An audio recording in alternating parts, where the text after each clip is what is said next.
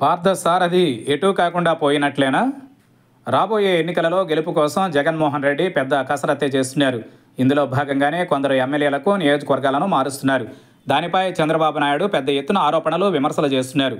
ఎమ్మెల్యేలకు నియోజకవర్గాలను మార్చడంపై yellow media కూడా బాగా నెగిటివ్గా కథనాలు ఇస్తోంది.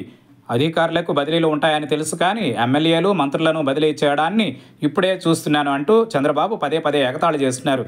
ఒక నియోజకవర్గంలో చెత్తను తీసుకెళ్ళి ఇంకో నియోజకవర్గంలో పడేస్తే బంగారం అవుతుందా అంటూ సెటైర్లు వేస్తున్నారు. సీన్ కట్ చేస్తే చంద్రబాబు కూడా ఇప్పుడు అదే పని చేశారు. నిజానికి రెండు వేల పంతొమ్మిదిలోనే చంద్రబాబు ఎమ్మెల్యేలను బదిలీ చేశారు.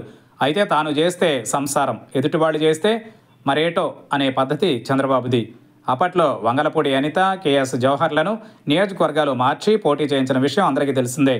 అయినా సరే జగన్ను పట్టుకుని నోటుకొచ్చింది మాట్లాడుతున్నారు. ఇప్పుడు విషయం ఏంటంటే Y C P M L A Kolusu పార్థసారథికి పెనమలూరులో టికెట్ ఇవ్వడానికి జగన్ నిరాకరించారు.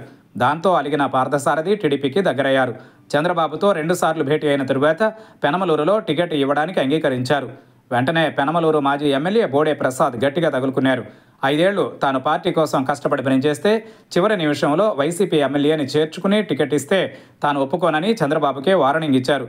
పార్థసారథికి టికెట్ ప్రకటించిన తరువాత ఏం జరుగుతుందో చూడండి చంద్రబాబునే హెచ్చరించారు. దాంతో భయపడిన చంద్రబాబు వైసీపీ ఎమ్మెల్యేకి పెనమలూరు కాకుండా నూజివేడులో టికెట్ ఇస్తున్నట్లు చెప్పారు. తనకు నూజివేడు వద్దని పెనమలూరులోనే పోటీ చేస్తానని కొలుసు పట్టుబట్టారు. పోటీ చేస్తే నూజివేడులో చేయాలని లేకపోతే లేదని చంద్రబాబు చెప్పేశారట. దాంతో ఏం చేయాలో కొలుసుకు ఇప్పుడు అర్థం కావడం లేదు. పెనమలూరు వైసీపీ ఎమ్మెల్యేని పార్టీలో చేర్చుకుని నూజివేడులో పోటీ చేయించడాన్ని ఏమంటారో చంద్రబాబే చెబితే బాగుంటుంది. చంద్రబాబు దృష్టిలో పెనమలూరులో చెత్త నూజివిడిలో బంగారం అయిపోయిందా